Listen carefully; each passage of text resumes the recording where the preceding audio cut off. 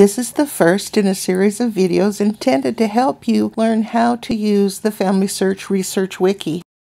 The Research Wiki is an encyclopedia just like Wikipedia, with the exception that all of the articles are about genealogy.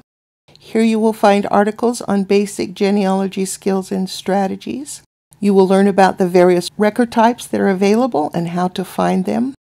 You will learn how to use strategies based on the location you are searching in.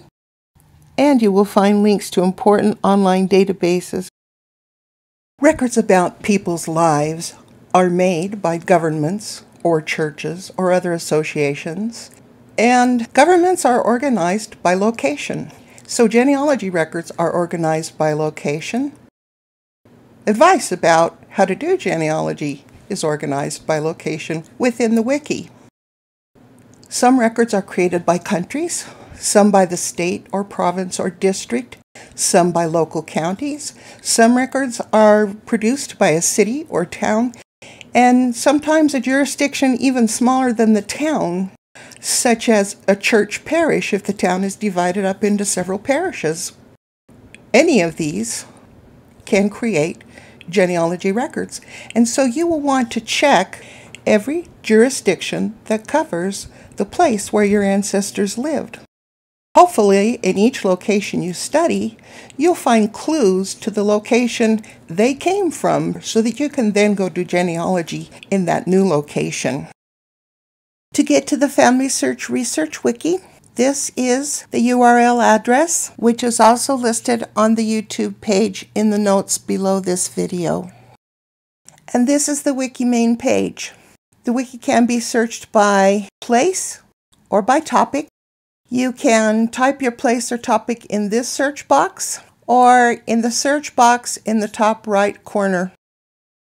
Your other option is to use this clickable map. For South Carolina, I would click on North America I would then click on the United States and I would come to information and articles about United States records. When I was done with those, I would scroll down to the map of the states. Here, I would click on South Carolina.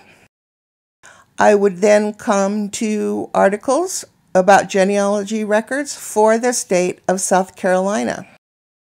When I had finished using those, I would go down to this map of counties and choose the county I want. I would then come to an article about genealogy records available specifically for that county. I don't mean to imply that you always do genealogy in the order of United States, then the state, then the county. Depending on the logic of the records, you might start with the county and you might start with the state Let's look at some of the futures you would find on a state or country main page. This section, Getting Started, will have many articles which are helpful for beginners. In this section, you will find research tools. In the United States, that will be things like gazetteers, but in a foreign country, it may include foreign language word lists. Over here, we have the right sidebar and articles about the record types. You will learn more about this sidebar in the next lesson. This button will lead you to the South Carolina Online Genealogy Records page. Basically, the state main page or a country main page acts as an index to all the various articles that can teach you about genealogy in that locality. Now you try it. Find the main page for your country. Find the state or province page for where one of your ancestors lived. Study the different features available and practice navigating through the wiki.